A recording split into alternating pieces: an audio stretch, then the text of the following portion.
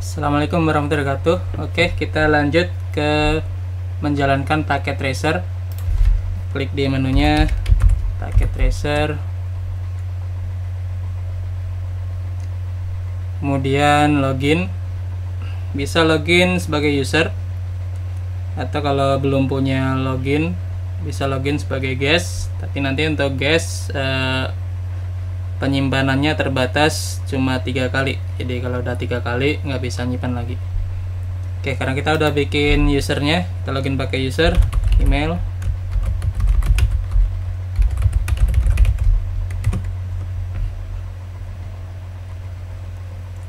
Kemudian password sign in.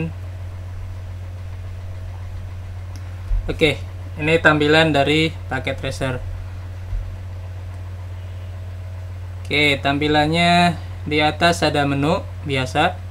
Kemudian ini ada toolbar untuk fungsi-fungsi, nanti kita jelaskan. Kemudian ini uh, ruang kerja kita. Terus untuk peralatannya device-nya ada di bawah. Jadi network device itu ke bawah ini ada router, switch, kemudian hub wifi dan seterusnya. Jadi ini kategori besarnya network device kemudian subkategori di bawah misalnya router atau switch. Nanti untuk device nya sendiri ada di sebelah kanan bisa dipilih. Kemudian sampingnya ada end devices. Ini yang devices biasa kemudian yang samping-samping ini uh, untuk uh, yang lain-lain. Jadi kita pakai yang end device biasa. Contohnya di sebelah kanan ada PC, laptop, server, dan seterusnya. Kemudian komponen ini terkait IoT kita lewat. Kemudian yang sebelahnya ini untuk koneksinya. Jadi kabel. Kabelnya ada di sebelah kanan nih macam-macam. Ini yang otomatis. Jadi keterangannya di bawah nih automatically choose kemudian kabel konsol ini kabelan straight ini kabelan crossover kemudian sebelahnya kabel fiber. Kemudian lain-lain. Oke itu aja untuk device nya kita pakai nanti router kemudian switch kemudian hub untuk contoh kemudian wifi kemudian end device nanti kita pakai PC laptop server dan mungkin nanti kita nyobain pakai tablet atau smartphone smart device. Oke. Terus untuk di sini ada dua mode real time. Jadi real time seperti biasa waktunya lanjut ini ada waktunya nih ada 3 menit 9 detik. Kemudian ada simulasi. Jadi kalau simulasi itu waktunya berhenti. Jadi waktunya berhenti sampai kita uh, forward kita play. Jadi satu-satu. Ini untuk nanti melihat jalannya paket. Oke balik lagi ke real time. Terus ini tampilannya logical. Kemudian ada tampilan physical nanti kelihatan uh, bentuk device-nya seperti apa. Nanti ini dari kota kemudian masuk ke uh, sebuah gedung kemudian ruangan ini lemarinya nih. Kita belum ada nih. terus fungsi di toolbar select biasa nih yang default kemudian ada inspect untuk melihat uh, isi dari device-nya konfigurasinya kemudian ini untuk menghapus delete kemudian resize. Terus ini yang penting ada place note jadi kita nanti bisa membuat catatan di device nya terus ini anotasi nanti kita pakai untuk uh, ya membuat batas-batas atau uh, batas dari jaringan nanti kita pakai. Oke uh, lanjut untuk yang pertama kita tambahkan device and device. Jadi kita mau menghubungkan dua PC jadi klik ke PC kemudian taruh di uh, ruang kerja sini workspace-nya. Kemudian untuk dua PC ini untuk menghubungkan pakai kabelan. Jadi pilih di koneksi connection. Karena tipe device-nya uh, sama nih PC dengan PC kabelan yang dipilih adalah yang crossover. Oke ini crossover ke PC 0 taruh di fast ethernet. PC 1 fast ethernet. Oke kalau sudah hijau berarti sudah terhubung. Oke kenapa pakai harus pakai crossover? Karena tipenya sama jadi PC dengan PC. Jadi karena kita pakai fast ethernet harus pakai crossover. Kalau pakai gigabit itu nggak masalah. Semuanya pakai straight oke kalau kalian bingung bisa dihapus dulu. Ini pakai delete hapus. Terus pakai yang otomatis aja. Jadi PC 0 PC 1 nah nanti otomatis dia milih kabel yang sesuai. Oke, lanjut lagi. Kalau portnya udah berwarna hijau berarti udah tersambung linknya. Jadi layer 2 sudah tersambung. Tinggal nanti layer 3 kita kasih alamat IP. Kemudian untuk konfigurasi alamat IP bisa melalui command line. Ini biasanya di router atau switch. Atau bisa juga pakai graphical user interface. Oke, terus kita lanjutkan yang ini e, koneksi antara dua PC pakai kabel crossover. Kemudian kita set alamat IP segini nih.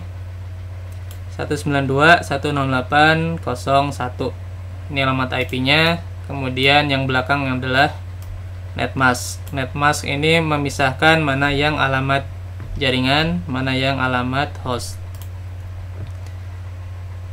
Oke kita set di PC 0 kita set alamat IP nya klik PC 0 nanti ini ada tampilan fisiknya. Ini penampakannya. Bisa di zoom in. Nah bisa dimatikan. Klik matiin. Kalau udah dimatikan kalian bisa ganti colokannya. Ini kan tadi fast ethernet. Bisa diganti misalnya dengan yang gigabit ethernet yang di sini nih. CGE jadi copper gigabit ethernet. Tapi nanti aja nih. Dinyalain lagi. Terus kita mau set alamat IP nya kita kasih label dulu. Place note di sini. Nanti yang PC 0 alamatnya 192.168.01 netmasknya tadi 24 bit. Terus yang PC 1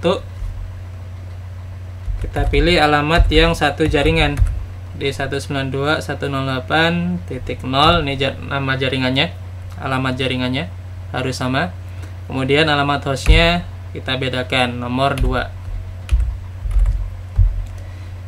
oke jadi netmask slash 24 ini berarti 24 bit yang di awal. Saya jelaskan di sini. Misalnya 192 168 0 1 terus netmasknya 24 berarti 24 itu 24 bit di awal itu berarti 3 byte ini. Ini adalah alamat jaringan. Terus 8 bit di akhir ini untuk alamat hostnya oke ini netmask nih kemudian bisa slash 24 atau format yang lain bisa diubah ke alamat IP juga. Jadi 24 bit di awal itu satu semua berarti 255 8 bit satu semua 255 8 bit satu semua terusnya sampai 24 bit terus di akhir 0 ini untuk PC yang pertama. PC 0 jadi alamat IP dibagi dua. Jadi ada bagian untuk jaringannya network. Kemudian ada untuk bagian hostnya. Kemudian pembaginya di mana? Itu dilihat di subnet masknya jadi misalnya slash 24 berarti 24 bit di awal sebagai alamat jaringan. Dan bisa juga formatnya seperti ini. Ini subnet mask bisa slash 24 atau 255 255 255 titik 0 oke terus kita tambahkan satu PC di jaringan yang sama. Untuk jaringan yang sama nomor jaringannya harus sama. 192.168.0 terus nomor hostnya kita bedakan. Di yang satu udah dipakai dua. Netmasknya samakan slash 24 atau biasanya kalau format untuk ngeset IP pakai format alamat IP 32 bit. Jadi ini 1111 sebanyak 8 ini juga sebanyak 8 bit sebanyak 8 bit. Jadi 24 bit di awal itu satu semua. Oke terus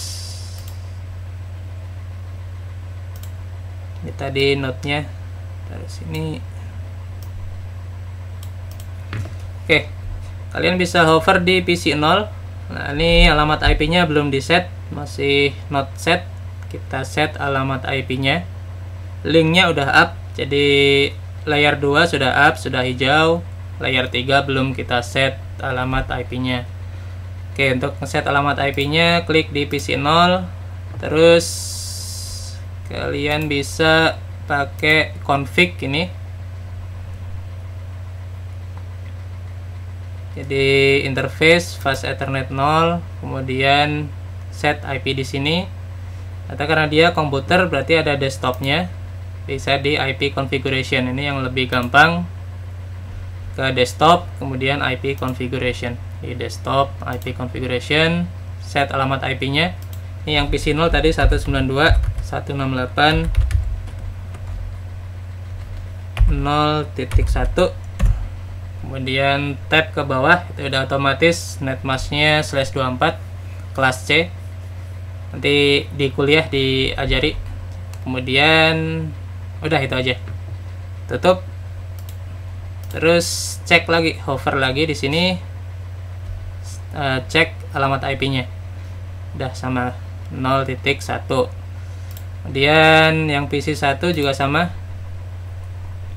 Kita set alamat IP nya 192.168.0 terus ini nomornya kita kasih nomor host 2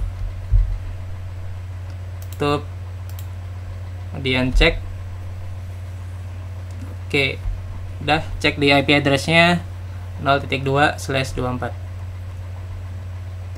kemudian untuk ngecek koneksi uh, kita pakai program ping. Di PC 0 uh, eh, masuk ke terminal. Eh, sorry bukan terminal command prompt. Oke. Okay. jadi ping. Kemudian kita ping ke diri dia sendiri 192.168.0.1 oke bisa. Ini localhostnya terus kita ping ke sebelahnya. 192 168 02 oke sudah terhubung. Oke kalau di sini uh, backgroundnya mungkin hitam. Nanti saya ubah uh, setelah ini. Terus ini yang mode real time. Kalau mau nyoba mode simulasi diklik nah nanti waktunya berhenti nih. Jadi kalau kita saya tutup dulu misalnya dari PC 1 ping ke PC 0 jadi ping 192.168.01 set. Nah ini ngeheng nih karena waktunya berhenti. Jadi kalau mau dijalanin nanti di sini ada keterangannya nih. Ada satu paket ini paketnya nih kotak uh, eh, ICMP untuk ping terus untuk menjalankannya di sini kontrolnya nih. Di play. Ini, kemudian ini reply-nya. Oke diterima. Nanti ini reply-nya di sini nih nambah. Kalau otomatis yang ini. Kemudian ya ini otomatis terus ini kecepatannya nih kalau terlalu lambat bisa dicepetin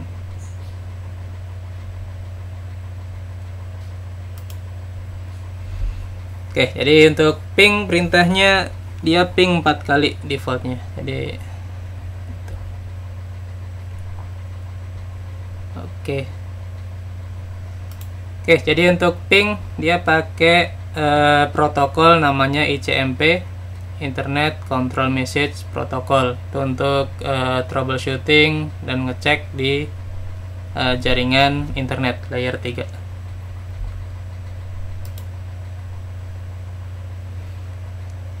Oke, kalau sudah di mode simulasi, balikin lagi ke real time. Oke. Terus bisa kalian simpan di sini save. Nanti kasih nama misalnya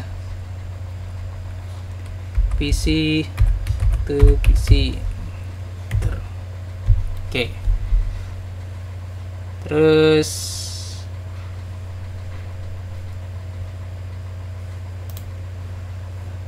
untuk selanjutnya oke untuk kabel straight ini nggak bisa kalau fast ethernet karena device-nya tipenya sama nanti linknya akan merah nggak akan connect. Kemudian kalau 3 PC atau lebih kita nggak bisa dengan langsung dicolokin karena colokannya tiap komputer cuma satu. Berarti kita butuh switch. Ini nanti switch. Oke cukup sampai di sini dulu. Assalamualaikum warahmatullahi wabarakatuh